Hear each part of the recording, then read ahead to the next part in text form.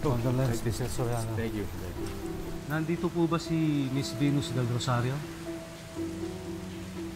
Yes, I'm Venus Del Rosario. How can I help you? SPO1 Generoso po. Kami po ang investigador na na-assign sa kaso ng mga biktima. Galing na po kami sa bahay niyo at ah, sabi nga ng katiwala niyo nandito raw po kayo. Well, I am a family friend. So, natural lang na nandito ako para makiramay. May mga ilang katanungan lang po sana kami sa inyo. Let me just stop you right there. I won't answer any of your questions hanggat wala pa yung lawyer ko. Yun yung advice niya sa akin. And I just spoke with her. She should be on the way by now. Pero kayo po ba ang may-ari ng lupang kinatitirikan ng bahay ng biktima, si Norberto Coronel? Are you deaf? Hindi mo ba ako narinig? I just said. Hi, Attorneys! Just in time. My sincerest condolences, Mr. Soriano. Thank you, sir. This is my lawyer, Attorney Era Simmons. Attorney, sila yung nag-iimbestiga sa kaso. Ah, Attorney Simmons, tinatanong ko lang po si Miss Del Rosario kung siya ang may-ari ng lupang kinatitirikan ng bahay ni Norberto Coronel. Tama po ba? Yes, siya nga po. Ito mo nalagay yan. Nangaalala ko si Mang Ber.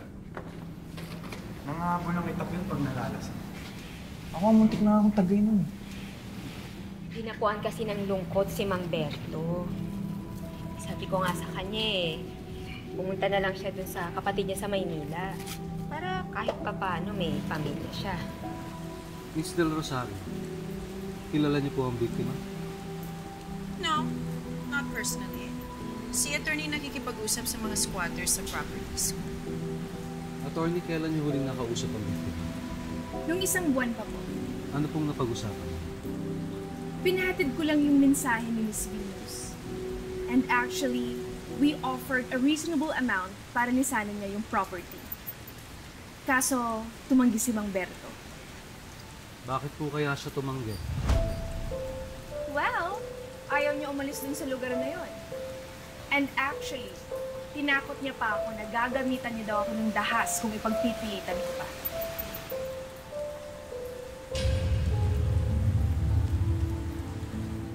Kayo naman, parang hindi pa kayo sanay kang Mamberto. Alam niyo, kaya siya nandito kasi gusto niyang makuha yung lupang sinasaka niya. Baka naman pala may kinalaman yung, yung Venus na yan sa pagkamatay ni Mamberto. Property niyo mismo ang motibo. Pinipilit niyong umalis ang biktima at nang hindi pumayag, posibleng nagamitan ng dahas. Wait, are you trying to say na ako yung nagpapatay kay Noberto? Miss Venus, let me handle this. No, attorney. How could you even think that? Kailangan ko yung property ko, yes. Pero para pumatay ng tao just to get it? No way! Hindi ko magagawa yun. Mana-mana lang yan. Di ba, pinatay ng tatay ni Venus. Yung tatay ni Ma'am Catherine. Mga mayayaman talaga. Sabi ko magsalita si Aris. Hindi naman lahat ng mayaman ay masasamang tao. Bakit si Sir Carlos? Si Ma'am Catherine? Mababait. Di ba parang pamilya ni turing nila sa atin? Okay. Tapos, basta binarin na lang yung Catherine. Anong connect nun, ha? Pagpatay kay Mang Berto. Sige nga. Hindi naman yata tama yung ginawa nila kay Mang Berto. Sana lang talaga, nabigyan agad ng hustisya yung pagkamatay ni Mang Catherine. Bufel, my loves. Gamitin mo kaya yung ano, third eye mo. Oo. May third eye to eh. Baka nakikita mo yung kaluluwa ni Ma'am Catherine. Ha? Tanungin mo kung sino pumatay sa kanila ni Mang Berto. Sige na. Baka nandito. Maraming salamat po sa oras niya, Miss uh, Del Rosario. We need to talk, attorney. Let's go. Mr. Soriano, patuloy po namin iimbestigahan ang koneksyon ng dalawang krimen na ito. Kung sakaling may maalala kayo tungkol sa suspect, any distinguishing marks, ipaalam nyo lang sa amin. Gawin ninyo ho ang lahat na makakaya ninyo para mahanap yung pumatay sa aking asawa. Pananagutan niya to. Makakaasa po kayo. Salamat po.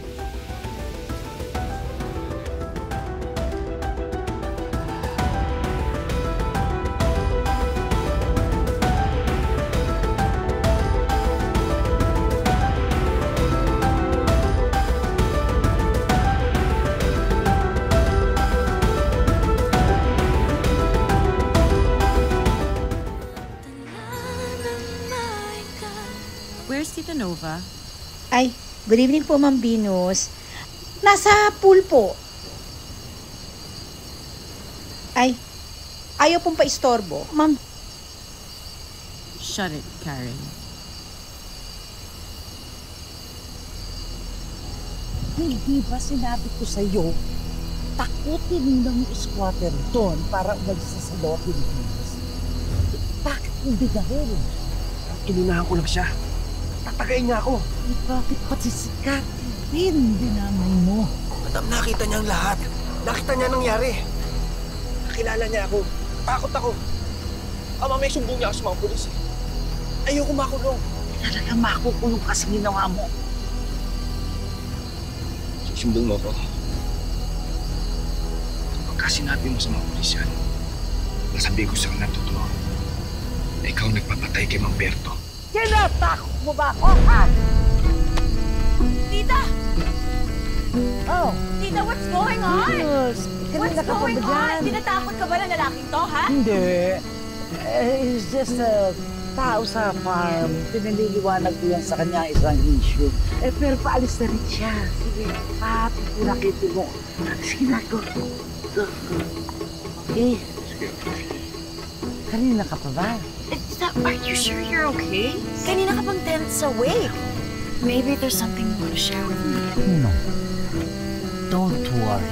Ah, mahirap lang siyempre magpaliwanag sa mga bobo.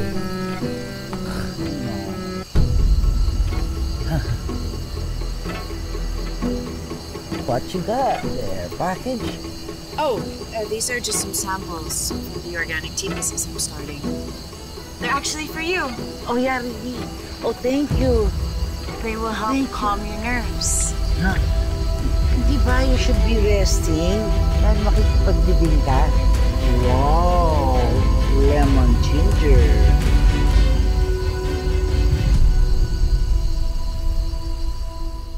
Ayon sa salita ng Diyos, sino man tumanggap sa kanyang anak bilang Panginoon at tagapagligtas ay tumanggap na rin ng buhay na walang hanggan sa piling niya.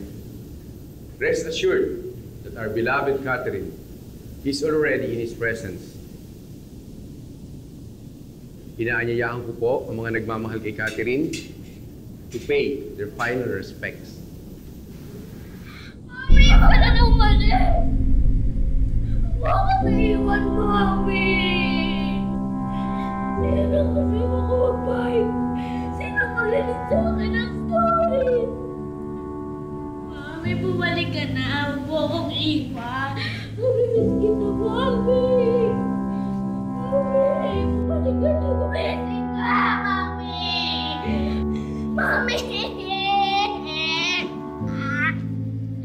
Mami! Mami! Bumalik